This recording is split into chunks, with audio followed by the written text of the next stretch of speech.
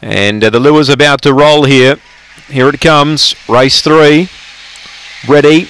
Racing. Goodbye Kiss began well. No speed from Fruitcake. And Goodbye Kiss will lead Lectra Stolly, who's up attacking it. Third, Molly McBain. Copping a check was best in red. Running on was Short Mess. Then came a Spring Lisa. Pistoliers a mile back. Also Fruitcake in front was Lectra Stolly close to home and wins.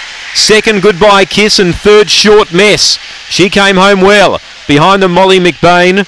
Uh, then came Pistolier picking up a few late. Fruitcake was well back, and Best in Red, who copped the check early, was back at the rear. Electra Stolly, number eight, the winner.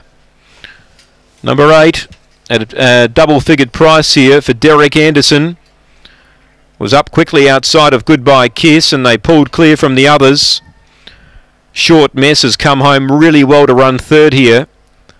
And the time is 18.57. 8.13 confirmed here. Eight the winner, Lectra Stolly. Goodbye Kiss second, Matt Payne. And three third, Short Mess, Stephen Brook. Seven gets fourth, Molly McBain. 18.57 the run. And uh, three quarters by three quarters, Lectra